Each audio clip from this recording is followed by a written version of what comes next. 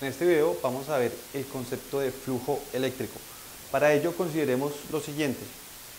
Consideremos una placa que está sumergida en un campo eléctrico uniforme cuyas eh, líneas de campo eh, están dibujadas de color rojo y consideremos además que tenemos un vector normal del área, lo denotamos por n gorro y en la gráfica eh, está dibujado con color azul.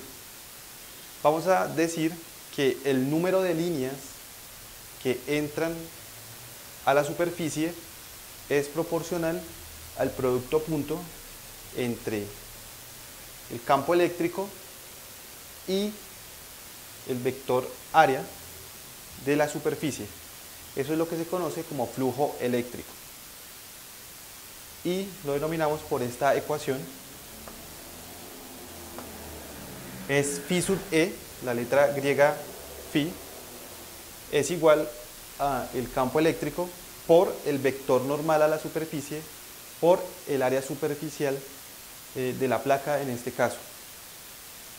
Esto cuando eh, el campo eléctrico y el vector normal son, eh, son paralelos, van en la misma dirección, pero existen casos en los cuales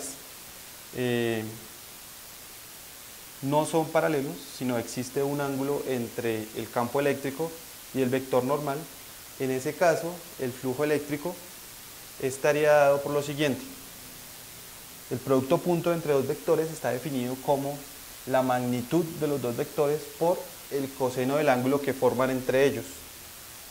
Tenemos que la magnitud del vector normal a la superficie es igual a 1, por consiguiente el flujo eléctrico estaría dado por eh, el producto de las magnitudes de campo, el área superficial por el coseno del ángulo que forman eh, los dos vectores. Entonces, esta la utilizaremos en el caso en que eh, no sean paralelos los dos vectores.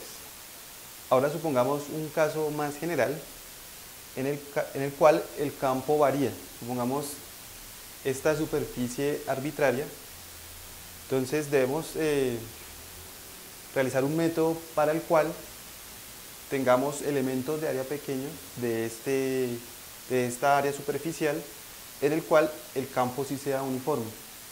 Entonces vamos a tomar pequeños eh, pedacitos de área infinitesimales, muy pequeños, con lo cual el campo en ese pedacito sí va a ser uniforme.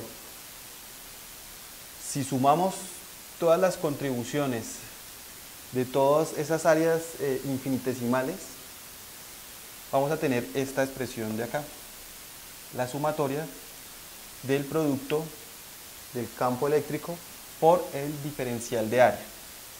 Ahora, si hacemos que esos diferenciales de área tiendan a cero, es decir, tomamos el límite cuando el diferencial de área tiende a cero y eh, va a ocurrir que también eh, esos pedacitos eh, van a ser infinitos, entonces voy a tomar el límite cuando la sumatoria del producto del campo eléctrico por el infinitesimal se me convierte en una integral.